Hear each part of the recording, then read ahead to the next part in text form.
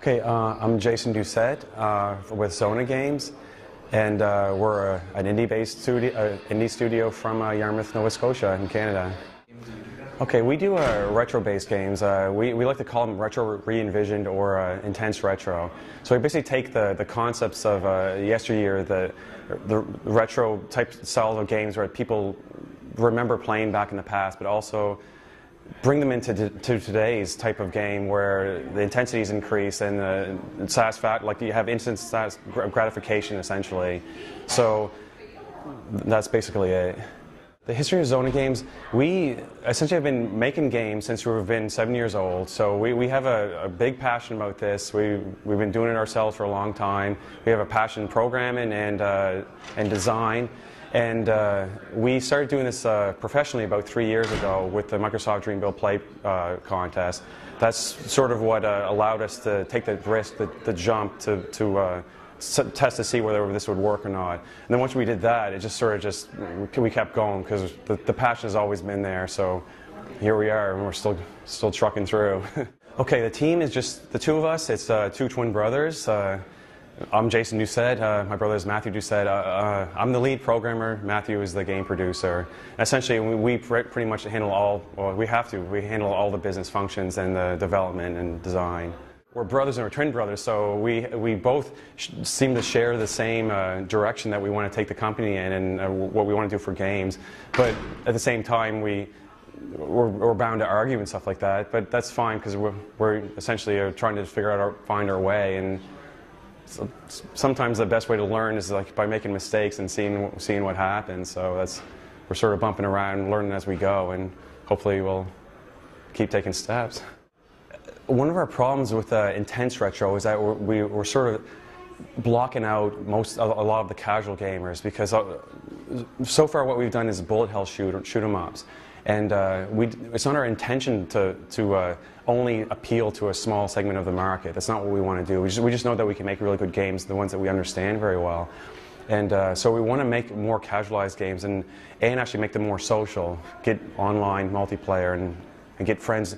Not just, all our games are four-player co-op in the same room, but we realize not everybody's always in the same room. Your friends aren't always visiting. So, so we want to sort of bridge that gap and still do the same type of games that we, we understand and love that we want to play, that are retro-based, but bring them even further into to today's type of a style of game where it's more social and I mean that, that that's that's sort of for our next project. That's that's where we're that's where we're headed. We already sort of have a design based all around that.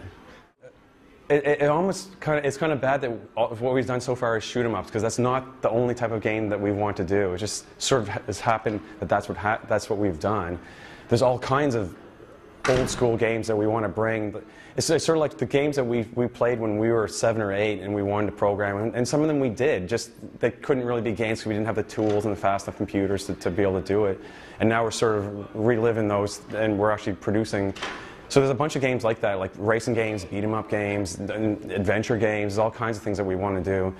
The, the shoot 'em up is just probably my favorite genre. That's the reason why we, have tackled that. It's unfortunate that some people today just don't understand shooters and just so we're having a little bit of, of growing pains as, as a result of that. But so far, what we've done is focus number one on gameplay. And I think that's important because we see a lot of indie games come out where I always see them and it's like, man, just give me a couple days with the source code and I'll fix the gameplay because that's the first thing that I notice. And no matter how pretty it is, if you don't have fun actually playing it, it's, it's not going to hit. So we, we know that we've mastered that, and, we, and uh, but the problem is everything else. So we, we uh, for our next game, we wanted to actually have the number one priority be the social aspect. We'll still have gameplay as, as the number one, number two priority, and it probably will be some sort of shooter, maybe not a, a, a space shooter, but maybe like a run and gun type of. It, it, it might have that in it. It's not, that, but it's not going to be the focus of the game. That's sort of I can go two different ways. Whether we're talking about the 3D like first-person shooters or the old school 2D shooters. The old school 2D shooters, what has happened is that people always think it's, oh, it's the same thing. Oh, you just dodge bullets and you shoot. So you always have to throw something new in there to, to make your game uh, seem innovative. And uh, what has happened is that it's gone more and more crazy, and that's where the bullet hell and the maniac, sh maniac shooter concept have come from. The problem with that is that, yeah, it, it, it attracts the people that are in the shoot 'em up crowd to, to test the new games. Oh, it's something new. But it scares completely everyone away that isn't in the shoot 'em up. That's why it's, that's why shoot 'em ups went from the early 90s being the number one genre. Now people don't even hear about them, people don't even want to try them. And it's, and it's too bad because they're really fun games. You can, you can have a, just a, like a burst of gameplay for 10 minutes if that's what you have, and amazing action, and you jump out. And, and they, they, they're perfect for that. So the, one of the problems is by, by making things too intense, you're actually scaring people away. And what we're going to try and do is uh, bring back the, the retro from yesteryear, still maintain the intensity of what people demand today, but do it in a way that doesn't scare everybody from trying the game.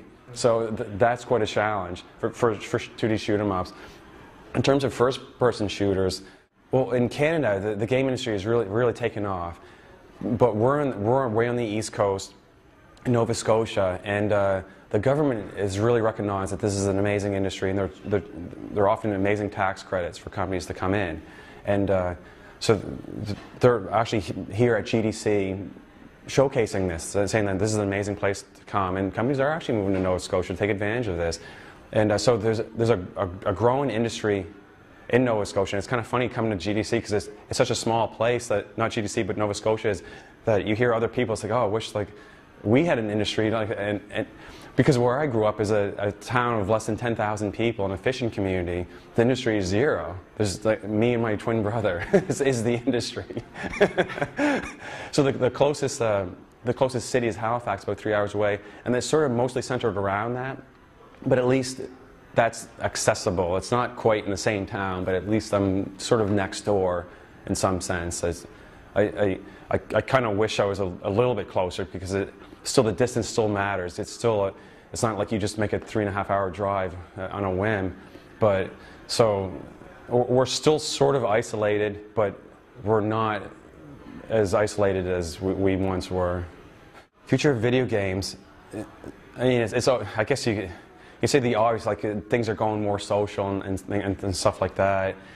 Uh, I, I, guess it's. Uh, I mean, things always have to change because it's human nature just to get bored with the, how things are, are in the same manner. That's it, it, just kind of like what I said with the shoot 'em up genre. Things have to change. You have to add something, some new gimmick or something in, and it's almost to the point where I, will see some company uh, reinvent uh, a past game that was amazing, and then they add new mechanics and they take old mechanics out, and it ends up ruining the game. at least for me, and for, for I see for other people as well. And it's like, oh, why did they do that? But then you realize like you can't even speaking with them, it's like you can't just do the same thing over and over again. You have, you have to change. So at, at some point, the, the, I mean, the social nature of video games have, has always been there. I mean, ever since I'm going to go back to like the third generation, like of the original Nintendo, where games had two players. And it, I mean, that came with two controllers. You, systems today that you buy don't even come with two controllers.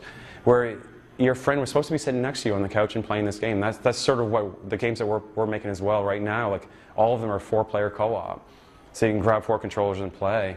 So I think the social nature will always be there. Just, just now with the connectivity of the internet, even though it's sort of, it makes it less. You don't have to go to your friend's house to sit down on the couch because you can just connect over the internet. So it's weird. That's sort of lost, but at least you are doing that. You can see the scores and, and uh, you can, the leaderboards and stuff like that. So that that will always continue.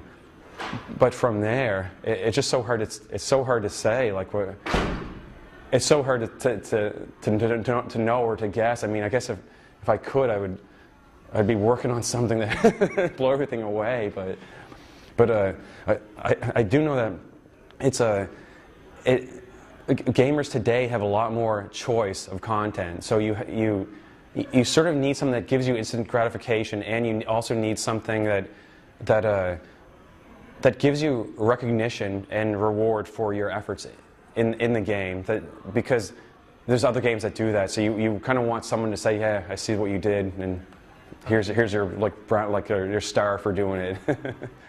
Indie games are, are, are interesting because they're always small companies that are willing to take risks. Is just like a, I mean, I.